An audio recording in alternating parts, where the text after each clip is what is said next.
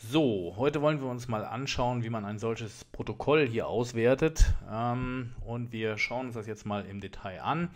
Der erste Wert, den wir hier sehen, ist der Sturz. Und der Sturz, der hat hier einen Sollwert von minus 0 Grad 40 Bogenminuten und dann eine Toleranz von plus minus 20 Bogenminuten. Wenn wir uns das auf dem Zahlenstrahl anschauen, dann haben wir hier den Nullpunkt.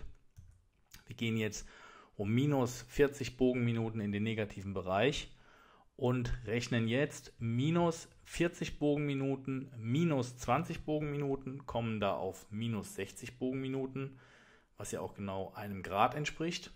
In die andere Richtung minus 40 Bogenminuten plus 20 Bogenminuten, dann kommen wir hier auf minus 20 Bogenminuten. Das heißt, ähm, wir haben jetzt über unseren über unsere Toleranz, über die Differenzen haben wir hier unsere maximalen und minimalen Einstellwert gefunden. Wir schauen uns jetzt mal an, was die Eingangsmessung gebracht hat. Ähm, das nochmal hier die Toleranzen, minus 20 Bogenminuten und plus 20 Bogenminuten. Die Eingangsmessung rechts hier mit minus 34 Bogenminuten liegt also in der Toleranz.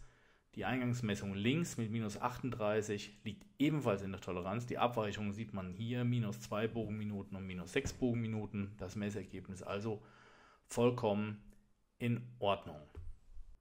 So schauen wir uns das Ganze jetzt für die Spur an. Da haben wir einen Wert von 0 Grad und 5 Bogenminuten, Toleranz plus minus 5 Bogenminuten.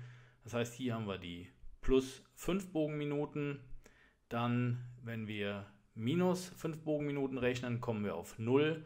Und wenn wir plus 5 Bogenminuten rechnen, kommen wir auf insgesamt 10 Bogenminuten.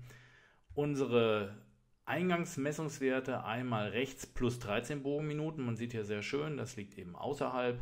Links mit plus 12 Bogenminuten ebenfalls außerhalb. Also ist dieser Wert, wie ja auch hier gekennzeichnet, nicht in Ordnung.